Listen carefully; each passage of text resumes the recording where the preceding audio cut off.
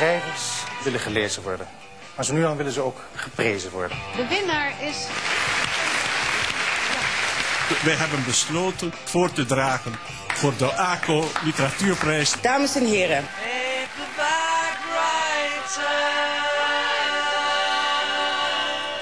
Laten we even luisteren naar de eh, eh, enkele woorden van de eh, juryvoorzitter. Een regisseur komt in de gevangenis zichzelf tegen in de gedaante van een mysterieuze medegevangene. Die heeft wellicht een tragische wending veroorzaakt in zijn leven. De twee gevangenen voeren broeierige gesprekken. In raadselachtige cipier observeert hen. Een echte meester van de verbeelding bewijst zijn talent niet door af te sluiten, maar juist door het eeuwig openplooien van telkens nieuwe stukjes werkelijkheid. Ook bijna literator geworden, die uh. Ik strandde op pagina 100 door een aantal slordigheden. Dan wil ik niet uh, mijn collega Grunberg gaan debunken, want dat doet hij al genoeg met mij. Maar ja, daar komt toch een... Uh, daar is een onderhuurder en die uh, staat met zijn broek op zijn enkels. Een bladzijde verder staat hij met die broek op zijn knieën. En een bladzijde verder weer een broek op zijn enkels. En een bladzijde verder weer een broek op zijn knieën. Dan denk ik van, hé, hey, oh wacht even, het is helemaal geen realistische roman. Het is een magisch realistische roman met bezielde broeken die van enkels naar knieën omhoog kruipen. En... Dat is alles wat ik over het kan, het kan en zijn... toen ben ik, toen ben ik, Ja? toen ben ik afgehaakt. Ik, we, we hebben het ook over, over fatsoen. En, en eh, hij is in die competitie gestapt. Eh, hij is eh, genomineerd, net zoals ik. Hij is in die competitie gestapt. Maar hij wenst een soort dubbelrol te spelen. Hij doet mee met de competitie en daarnaast eh, aan de zijlijn gaat hij een soort vuil hooliganisme jegens mij bedrijven. Ik bedoel, waar, waar- gaat dit nog over? Ik hou van collegialiteit. En niet iedereen kan even goed met elkaar opschieten. Maar ik, ik zou met hem over, over literatuur willen praten, over het werk, over het ambacht. Maar hoe zou u dat dat stuk willen kwalificeren dat hij over u heeft geschreven? Als karaktermoord. Het boek is een tweeluik. De verteller van het eerste deel, dat zich tijdens de Tweede Wereldoorlog afspeelt, is een acteur die zich bij de cultuurkamer meldt. Zijn vrouw, zijn Joodse vrouw, verlaat hem. Het tweede deel van de roman is een later door zijn Joodse buurvrouw geschreven monoloog. Heb lief en zie niet om.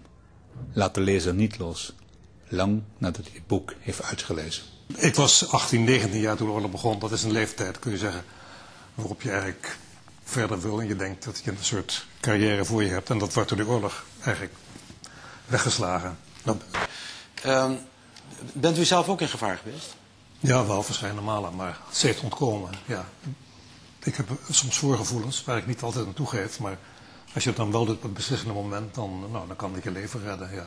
Ik dacht, ik voel me hier niet lekker. En ik ben weggegaan. En Karel, die daar zelf bij zat bij die vergadering om Job te bevrijden. Die Dat, dat "Oh, was die verrader eigenlijk. hè? Ja, dat was het verhaal. Blijf toch hier, blijf toch hier. En waarom zou je weggaan? Maar ging weg en twee minuten later kwam de overvalwagen daar binnen. Dus ik ben daar aan ontsnapt.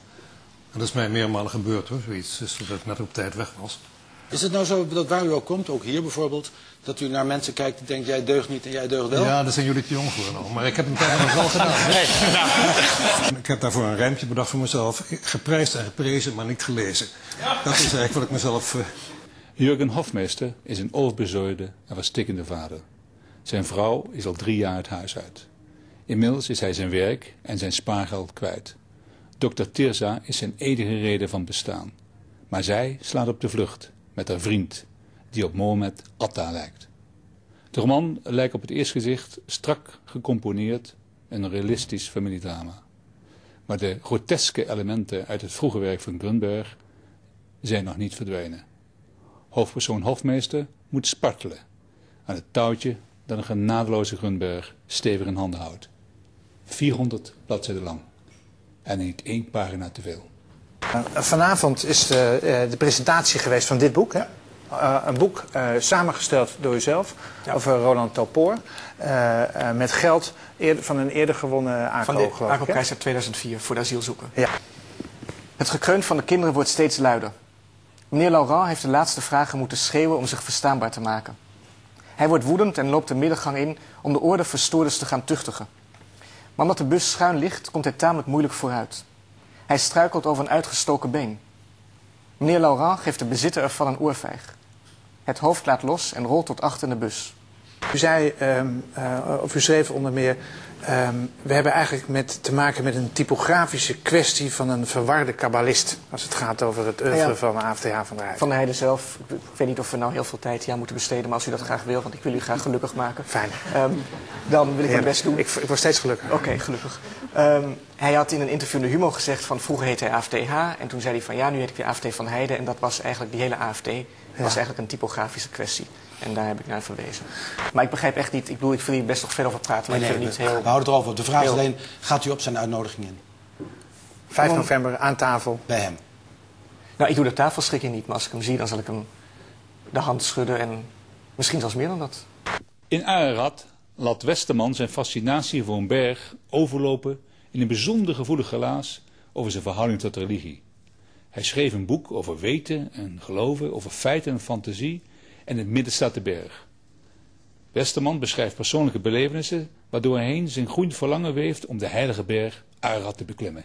En tenslotte maakt hij die reis. Frank Westerman danst als geen ander, zwierig tussen feit en fictie. Mooi gezegd, hè? Zwierig tussen feit en fictie. Dans? Ja. Ararat is een berg.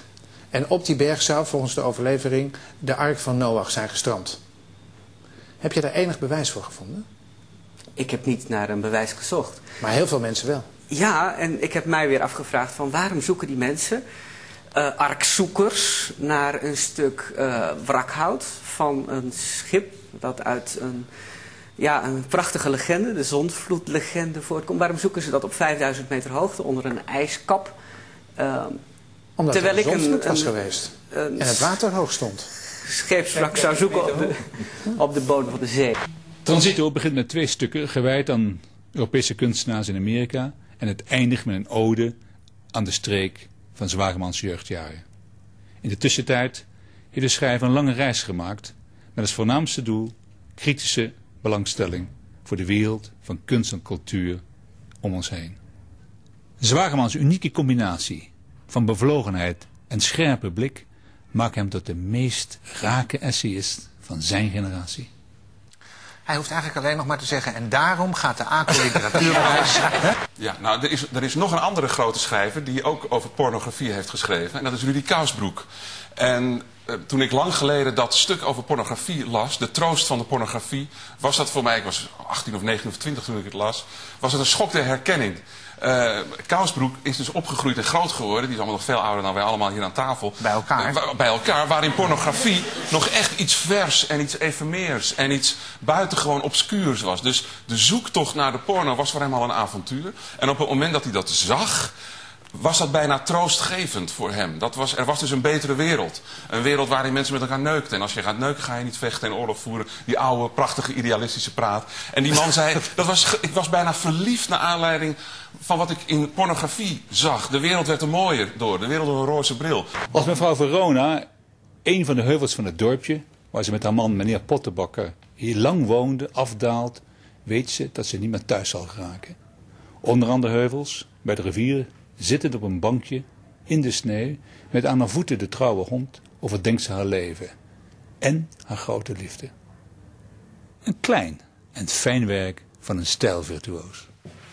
Het is een eh huis en hoog cliché dat eh, je alleen maar over ongeluk kan schrijven. En eh, in, in, in de literaire milieus wordt wel eens verteld dat, dat talent een mestbloem is bijvoorbeeld. Dat was iets wat ik kreeg te horen met, met de helaasheid der dingen. Van ja, zo is het gemakkelijk om een goed boek te schrijven. Je, je, je jeugd was naar de kloten. Maar als je dan denkt van als miserie werkelijk eh, zo'n een, goede meststof is voor, voor degelijke literatuur, waar zijn al die goede boeken dan? Mijn buurvrouw, die net als ik, want daarom is ook mijn buurvrouw van boven op een, op een heuveltje woont. En zij kon, door haar leeftijd kon zij die heuvel niet meer op of af. Dus ik bedoel, dat ging niet meer met die benen en die, die plastic heup. En het was allemaal veel te stijl. Dus zij was veroordeeld tot, tot die heuvel. Dat, was eigenlijk haar, gevangenis. En bij me dan ook wel de vraag beginnen stellen van... De kans bestaat wel dat ik ooit exact hetzelfde moet meemaken. Dat ik ook en versleten ben en hier van boven op mijn heuvel blijf zitten... en het moet doen met de groentjes die ik geplant heb.